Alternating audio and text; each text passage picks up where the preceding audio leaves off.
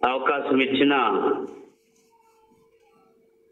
తన దీన సేవకులు మా ఆత్మీయులు మొదటిగా ఈ దినం అవకాశం ఇచ్చిన అయ్యగారు సిఎల్ జాన్ అయ్య గారికి అదే విధముగా ఆ మంచిగా మాకు అర్థమయ్యే విధంగా తెలుగులో ట్రాన్స్లేషన్ చేస్తూ మమ్మల్ని ప్రతిరోజు బలపరుస్తున్న తన దీన సేవకులు అజిత్ బాబాయ్ గారికి ముఖ్యంగా ఈరోజు ఆ అవకాశం ఇచ్చిన సమయం ఇచ్చిన దేవాది దేవునికి వందనాలు చెల్లిస్తున్నాను. నా పేరు పూజారి గంగరాజు.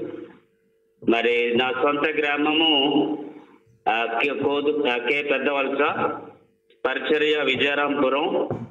అదే విధముగా సాముడవలసలో కూడా పరిచర్య చేస్తున్నాను. ప్రార్థన చేసుకుందాం. మహాపరిశుద్ధుడ ప్రేమగల మా తండ్రి నీ నామానికి వందనాలు చెల్లిస్తున్నాం. దేవా మీ దీన సేవకులు అయ్యగారు ఈ విధముగా మాట్లాడటానికి తండ్రి మీ సేవకుల ద్వారా నాకు ఇచ్చిన అయ్యా గొప్ప అవకాశాన్ని బట్టి వందనాలు. అయ్యా నీకు స్తోత్రాలు. యువదికాల సమయంలో నాతో మాతో మీరు మాట్లాడండి. తండ్రి మాట్లాడేవాడు నేను కాదు మీరే. కనుక నాయన ఈ కొద్ది సమయము మీరు నన్ను వాడుకోమని ఏ పరిశుద్ధ నామంలో అడిగొచ్చున్నాం తండ్రి. ఆమె మరి ఈ సమయంలో మరొక మారు దైవ సేవకులు ఆత్మీయులు అయ్యగారికి వందనాలు చెల్లిస్తున్నాను. సిఎల్ జానయ్య గారికి అలాగే అజిత్ బాబు గారికి కూడా. మరి సమయంలో వాక్యాన్ని నేర్చుకుందాం. మరి ఈరోజు అయ్యగారు ఆ, ఈ విధంగా అయ్యగారితో అయ్యగారిలో మాట్లాడటం అనేది మొదటిసారి. కానీ మరి చక్కటైన అవకాశం ఇచ్చారు. అందుని బట్టి మరొకసారి వందనాలు. మరి ఈ సమయంలో ఈరోజు వాక్య భాగానికి నేరుగా వెళ్ళిపోదాము.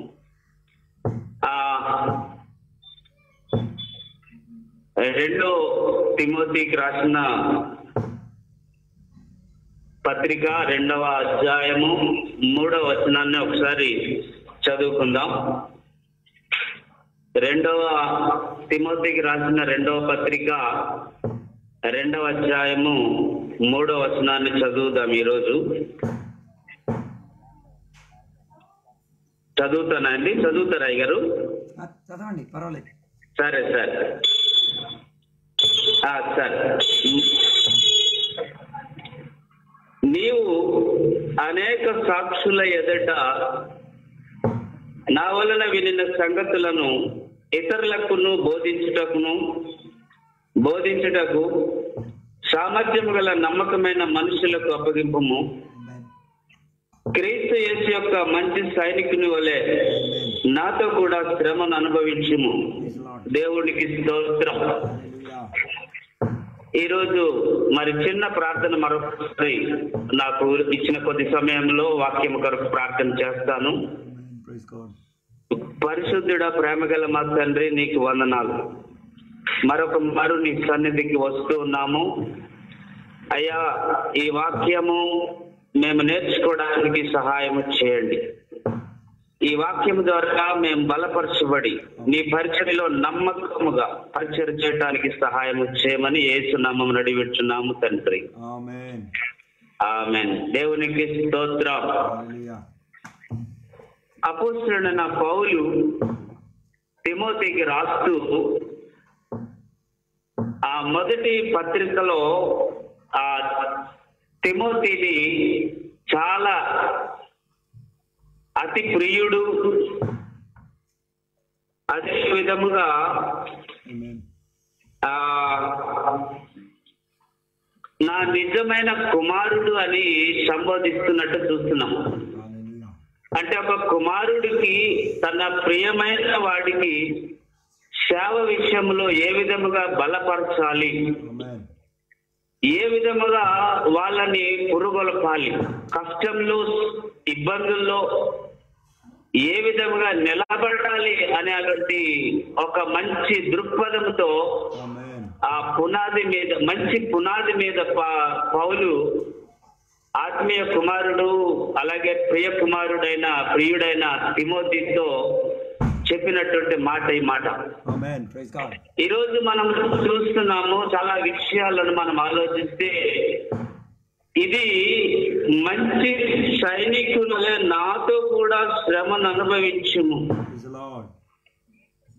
ఈ శ్రమ అనుభవించుము అనే మాటకు వస్తే కొద్ది నిమిషాలు మనం బయటకు వెళ్దాం.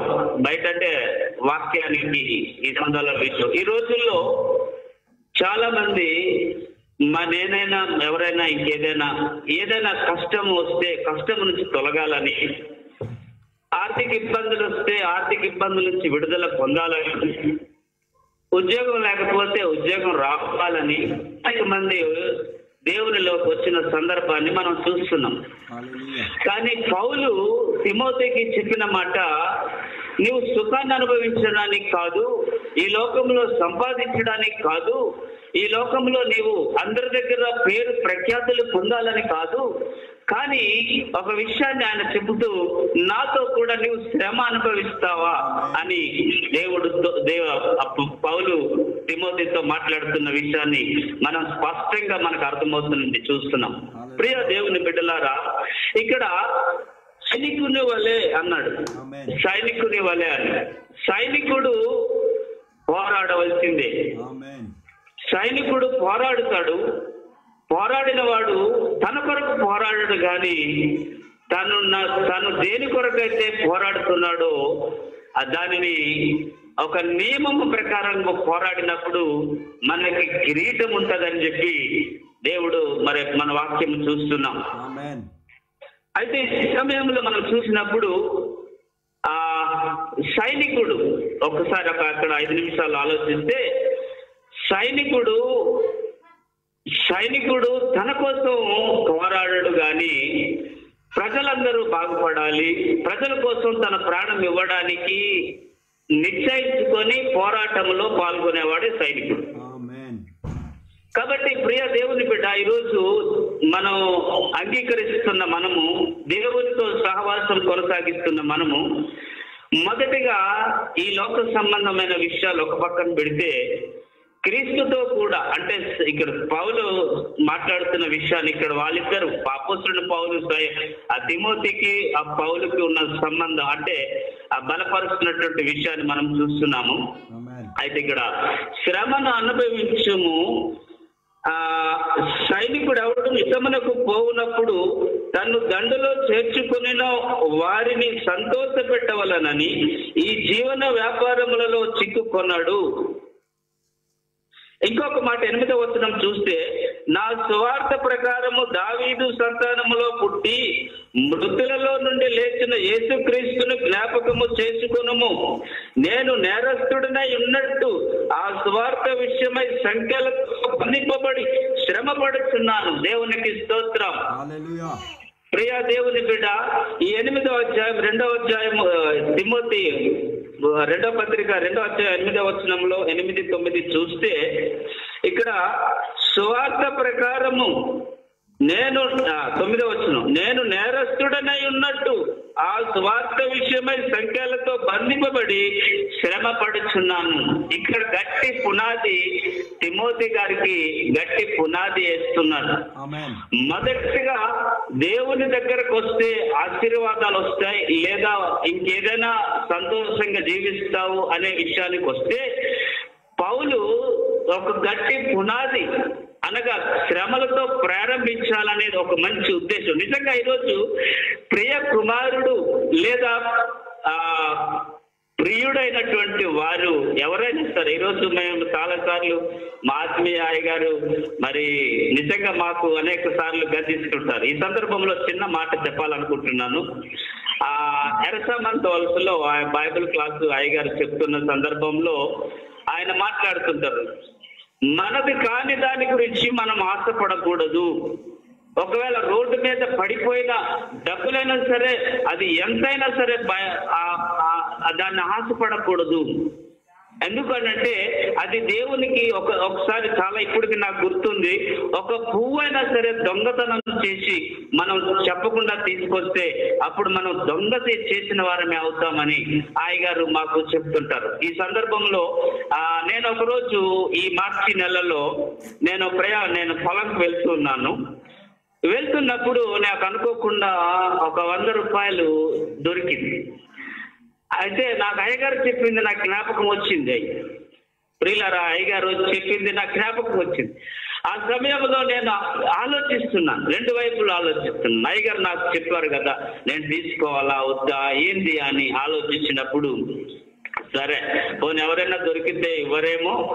ఆయన తీసుకోవడం తప్పే కానీ తీసుకొని ఎవరైనా పోయింది పో- నా నా డబ్బులు పోయేవని చెప్తే వారికి తిరిగి ఇచ్చేస్తానని అని ఆలోచించి ఎత్తుకున్నాను. ఎత్తుకున్నాను నాకు నాకు అదొకలాగా అనిపించేస్తుంది. నిజంగా మీరు నమ్మండి. సన్నిధిలో ఉండి చెప్తున్నాను.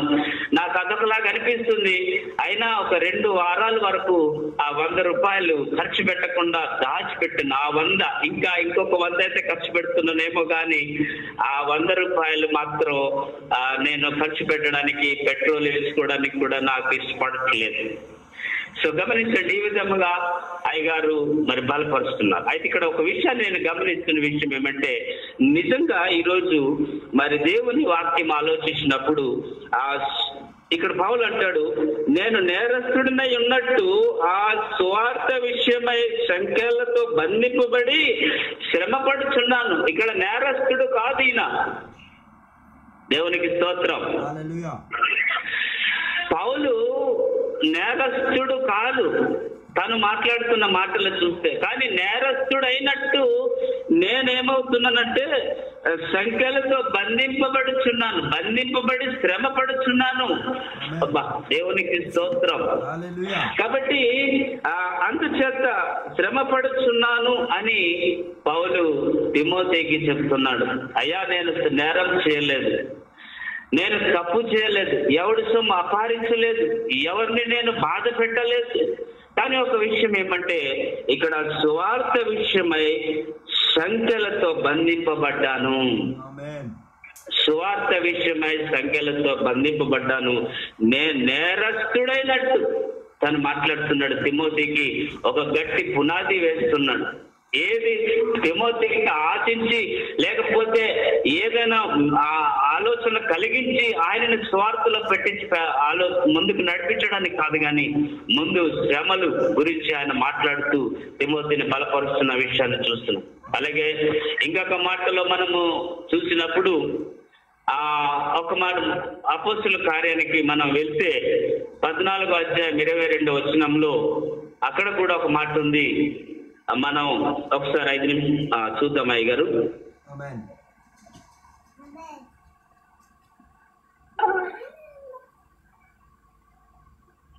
అపోస్తుల కార్యములు పద్నాలుగు ఇరవై రెండు ఒకసారి చదువుదాం అయ్య గారు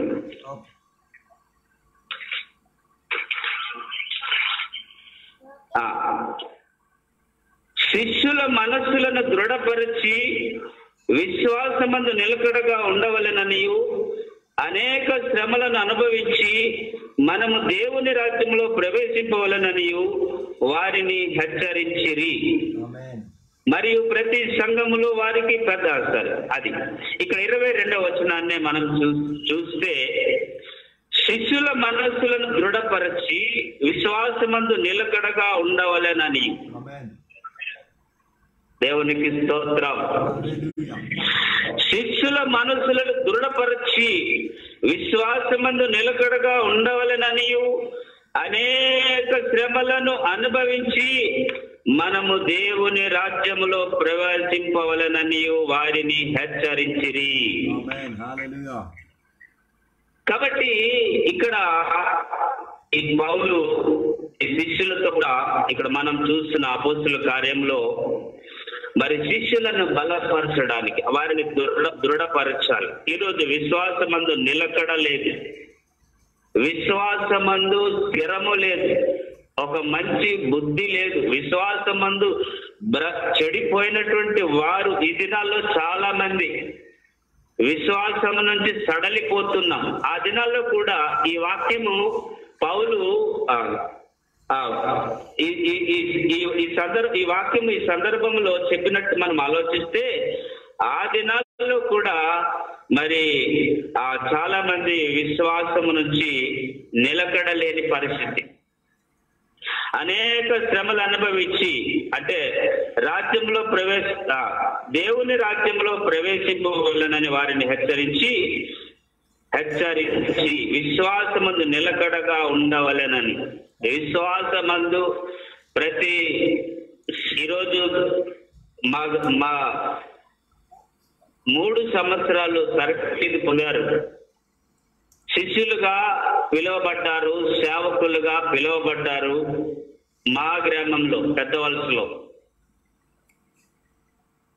విశ్వాసం గురించి బల్ల గుద్ది గుద్ది మాట్లాడినటువంటి మంచి సేవకులు విశ్వాసం నుంచి తొలగిపోయారు. ఇది చాలాసార్లు నా యొక్క మనసులో బాధ. అనేక మంది దేవుని దేవుని మూడు సంవత్సరాలు తరపీదు పొంది మూడు సంవత్సరాలు దేవుని దేవుడు మనకిచ్చిన పరిచర్య చేస్తూ చేస్తున్నటువంటి సేవకులుగా ఉన్నవారు విశ్వాసము నుంచి సేవ నుంచి తప్పిపోయినటువంటి పరిస్థితి సుమారుగా ముగ్గురు ముగ్గురున్న ముగ్గురున్నారు మా ఊర్లో పెద్ద వలసలోండి అయితే వారి గురించి మేము ఎప్పుడు కూడా ప్రార్థన చేస్తున్నాం వారు చెడిపోయారనే విషయాన్ని కాకుండా వారు దేవుని నుంచి తప్పిపోయారనేదే మాకు ఎక్కువగా నాకు బాధ కలుగుతుంది. అయితే ప్రియా దేవుని బిడ్డ ఈ ఈ ఉదయకాల సమయంలో పౌలు మాట్లాడుతున్నారు అయ్యా మనము అనేక శ్రమలను అనుభవించి మనము దేవుని రాజ్యంలో ప్రవేశించాలి. హెచ్చరించినటువంటి మాటను చూస్తున్నాం మనం అనేక శ్రమలు అనేకమైన లాభాలు మనం సంపాదించుకోవడానికి దేవుని దగ్గరికి రావడం కాదు.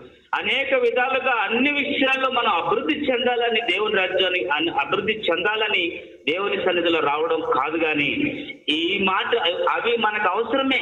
దేవుడు అవి అవి మన అవసరాలను గుర్తించి సహాయం చేస్తాడు. అనేక సార్లు అంటాడు సింహపు పిల్లలైన ఆకలి కొంటే నా పిల్లలు ఎన్నడూ ఆకలి కొరరన్నారు అయితే మరి సర్వభూమికి సర్వాధికారి అయిన దేవుడు మనల్ని అన్యాయము చేయడు చేయడు.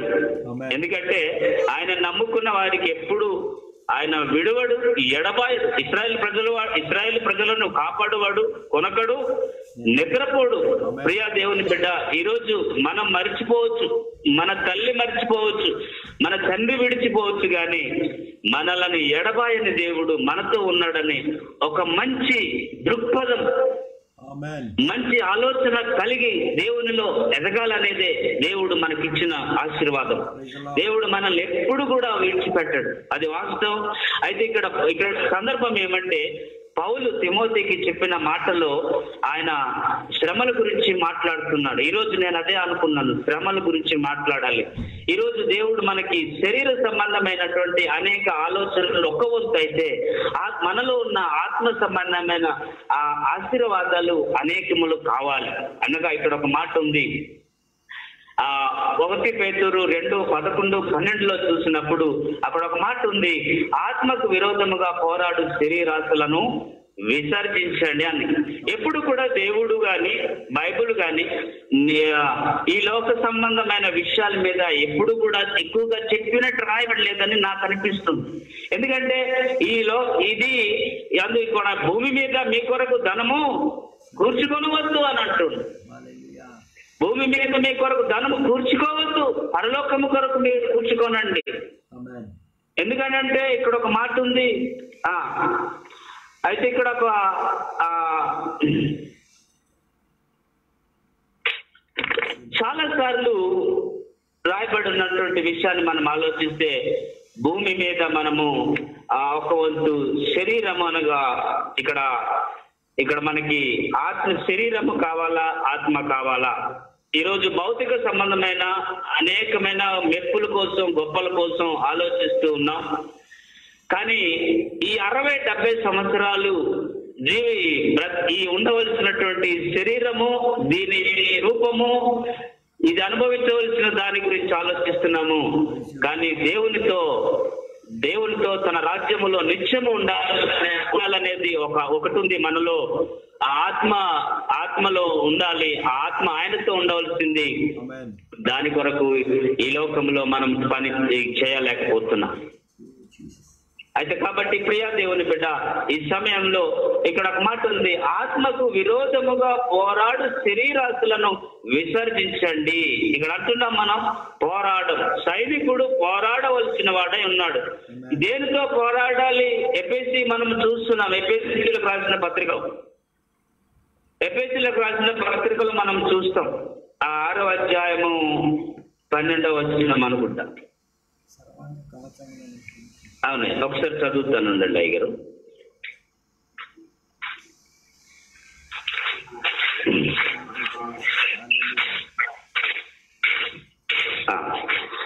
చూడండి పన్నెండవ అధ్యాయంలో ఏలియాత్మగా మనము పోరాడినది శరీరులతో కాదు కానీ ప్రధానులతోనూ అధికారులతోనూ ప్రస్తుత అధికార సంబంధాలకు లోకనాథులతోనూ ఆకాశ మండల మందుల దురాత్మల సమూహములతోనూ పోరాడుచున్నాము. అందుచేతను మీరు ఆపత్తిని మందు వారిని ఎదిరించుటకు సమస్తము నెరవేర్చిన వారై దేవునికి స్తోత్రం. ఇక్కడ మాట్లాడుతున్నారు సమస్తము మనము భౌతికముగా దేహముతో కూడిన ఈ జీవితంలో క్రీస్తు గురించినటువంటి పని ఏదైతే ఉందో అది మనము సమస్తము కూడా నెరవేర్చిన వారై నిలవబడుటకు శక్తిమంతులగున్నట్లు దేవుడిచ్చు సర్వంగ కవచమును ధరించుకొనండి. దేవునికి స్తోత్రం. అయితే ఇక్కడ మనము సమస్తము కూడా సమస్తము నెరవేర్చాలి. ఎస్ దేవునికి స్తోత్రం. సమస్తము కూడా నెరవేర్చిన వారు మేడం ఏం ఆపత్తిన మందు వారిని ఎదిరించుటకు సమస్తము నెరవేర్చిన వారై ఆ నిలబడుటకు శక్తిమంతులు అవ్వాలి అంటే సమస్తము కూడా మనము దేవునిలో దేవుని పరిచర్యలో నెరవేర్చిన వారై ఉండాలి. అంటే ఆ దానిని పూర్తి చేసిన వారిగా ఉంటూ శక్తిమంతులగునట్లు దేవుడు ఇచ్చిన కవచాన్ని ధరించుకోవాలి అనే విషయాన్ని కూడా మరి ఎపిసిలో పౌలు ఆ సంఘానికి రాస్తున్న మాట కనిపిస్తున్నాం.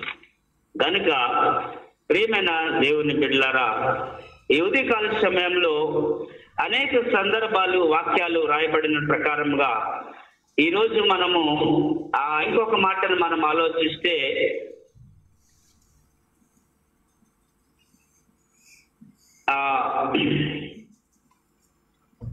అపోసుల కార్యములు పద్నాలుగు ఇరవై రెండు ఒకసారి చూద్దాం.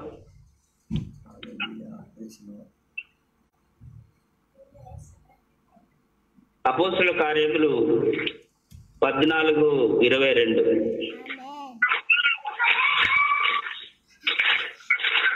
ఆ పద్నాలుగు ఇరవై రెండు వచనం చూద్దామండి ఒకసారి. సరే శిష్యుల మనస్సుల ఓకే ఓకే సార్. మళ్ళీ అదే చదివినట్టుంది. సారీ అయ్య గారు. ఆ అపోస్తులు పద్నాలుగు ఇరవై రెండు. ఒక శ్రమల అనుభవం ఓకే నాయ్ గారు. అది కాదు అయ్య గారు. దయతో క్షమించండి. రోమిలు రాసిన పత్రిక ఎనిమిది పదమూడు చూద్దాం అయ్య గారు. Amen. రోమిలకు రాసిన పత్రిక ఆరో అధ్యాయము రెండు నుంచి చదువుదాం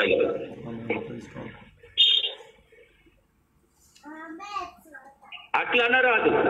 పాపం విషయమై చనిపోయిన మనము ఇక మీదటి ఎలాగూ దానిలో జీవించుదాము? క్రీస్తు యేసులోనికి బాప్తిజం పొందిన మనమందరము ఆయన మరణంలోనికి బాప్తిజం పొందితమని మీరు ఎరుగరా ఇక్కడ ఒక మాట ఉంది. ఆ ఎనిమిది ఎనిమిది పదమూడు కూడా చదువుదాం అయ్య గారు.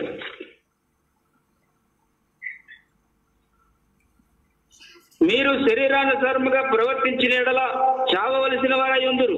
దాని ఆత్మ చేత శరీర క్రియలను చంపిన ఎడల జీవించదరు దేవుని ఆత్మ చేత ఎందరు నడిపింపబడుదురు వారందరూ దేవుని కుమారులై ఎందురు? దేవునికి స్తోత్రం.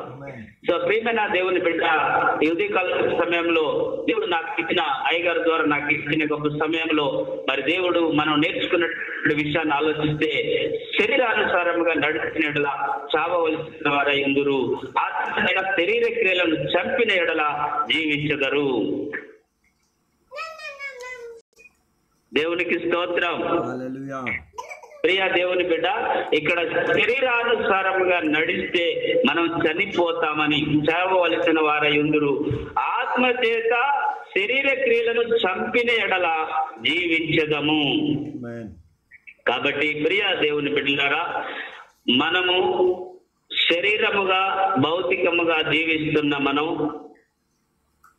ఈ క్షీణమైపోయిన క్షీణించిపోయినటువంటి ఈ శరీర సంబంధమైన విషయాల మీద మన మనసులు అపవాది చేత అపవాది చేత మనం మలు మలుపు చేయబడి దేవునితో ఉండవలసిన శాశ్వతమైన జీవము అనే మన ఆత్మ ఆయనతో ఉండాలనేది దేవుని సంకల్పం.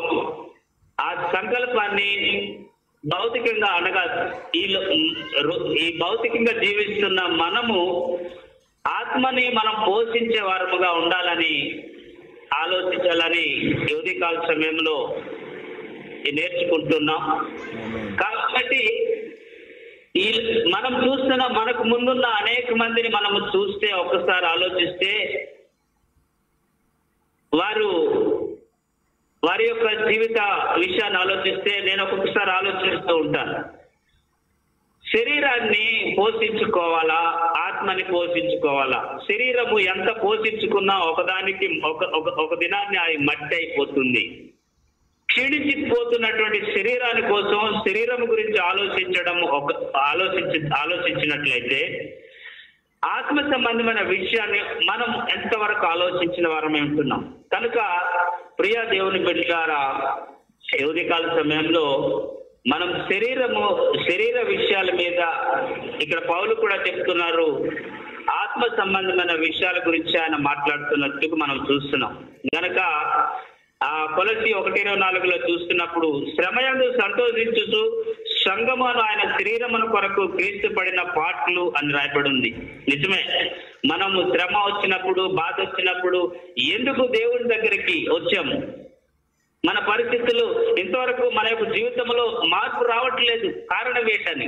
కానీ ప్రియ దేవుని బిడ్డ క్రైస్తవుడు దేవుని బిడ్డ దేవుని బట్టి నువ్వు నడిచినట్లయితే అయితే ఆయన క్రీస్తు శ్రమయందు సంతోషించుతూ సంగమను శరీర శ్రమకు శరీరముకు కొరకు క్రీస్తు పడినట్లుగా పడిన ఆయన విషయాన్ని మనం చూస్తున్నాం. గనుక ప్రియ దేవుని బిడ్డ ఈ శ్రమ అంటూ సంతోషించాలి. శ్రమలు అనుభవించుటకు మనం నియమింపబడిన వారమని కూడా ఒక్కోసారి రాయబడినది. ఉన్నది ఈ ఇది శ్రమలు అనేది దేవ దైవ ఈ పరిచర్య అనేది ఈ ఆ పరిచర్య అనేది ఏదో సుఖాలు అనుభవించడానికి కాదు. దేవుని ఈ ఈ పరి దేవుని పరిచర్య అనే యాత్రలో మనం సైనికుల వలె ఒక మంచి పోరాటాన్ని పోరాడడానికి. శ్రమలు అనుభవించడానికి ఒక సిద్ధపడే మనసు కలిగి అనుభవించినప్పుడు ఆ ఇంకొక మాట ఇరవై రెండు చూస్తా అనేక శ్రమలు అనుభవించి మనం దేవుని రాజ్యంలో ప్రవేశించాలి అనేక ఆశీర్వాదాలు పొందుకొని దేవుని రాజ్యంలో ప్రవేశించాలి అనలేదు కానీ శ్రమలు అనుభవించే దేవుని రాజ్యాల్లో పొందాలి. ప్రియా దేవుని బిడ్డ ఈ రోజు దేవుని రాజ్యం కావాలి అనుకుంటే క్రీస్తులో దేవుని పరిచయలో దేవునితో పాటు ఆయన మనం క్రీస్తు క్రీస్తుతో పాటు దేవునిలో శ్రమలు కూడా అనుభవిస్తూ నేను చాలా సార్లు అనుకుంటా ఒకవేళ నాకు శ్రమ వచ్చినప్పుడు ప్రభు నీకు ఎలాగ నచ్చితే అలాగ నలుపు అయ్యా. నీవు ఎలాగ నన్ను ఒకసారి యోగకుడు అంటాడు అయ్యా నన్ను నలుపు నన్ను నన్ను కడుగు ప్రభు. నన్ను నన్ను ఉతుకు నాయన. నా బట్టలు బాగుండాలి. నా దేహం అలాగా అనిపిస్తూ ప్రియ దేవుని బిడ్డ దేవుడు ఎప్పుడు కూడా విడిచిపెట్టడు. ఇది విడిచిపెట్టడు. అయితే ఒకవేళ నీ జీవితాన్ని ఒక సున్నితముగా మార్చడానికి దేవుడు నీ జీవితంలో కొన్ని శ్రమలు వచ్చేయేమో అది ఒకసారి మీరు ఆలోచించగలిగితే దేవుడు తప్పకుండా యోగుని దేవుడు ఆ తర్వాత ఆయన ఆ తర్వాత పొందుకున్నాడు కానీ తర్వాత పొందుకుంటానన్నది కూడా ఆయనకి తెలియదు మనం చదువుకుంటున్నాం కాబట్టి మొదటికి రెండొంతులు దేవుడు ఆశీర్వదించడం రాయబడింది కానీ యోగుకి ఆ విధముగా ఆయనకి ఆశ ఆయనకి తెలియదు ప్రియ దేవుని బిడ్డ మరి దేవుడు అప్పుడు కూడా ఎవడి అన్యాస్తుడు కాదు విడిచిపెట్టని దేవుడు. కనుక ప్రియ దేవుని మరి సమయంలో మరి శ్రమ వచ్చినప్పుడు బాధ వచ్చినప్పుడు ప్రస్తుతంలో ప్రస్తుత కాలంలో విశ్వాసాన్ని విశ్వాసాన్ని కోల్పోతున్న పరిస్థితులు కూడా అందుకంటే నేను ఆ సందర్భంలో చెప్తున్నాను విశ్వాసాన్ని గట్టిగా పట్టుకోమన్నాడు. ఎందుకంటే అది జారిపోవచ్చు. ఎందుకంటే లోక సంబంధం లోక సంబంధమైన ఆశలతో జీవిస్తున్నాం అనేక అనేక సమస్యలతో జీవిస్తున్నాం మనం.